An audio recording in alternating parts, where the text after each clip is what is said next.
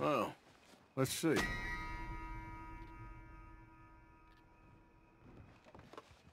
I am gloriously fuddled now.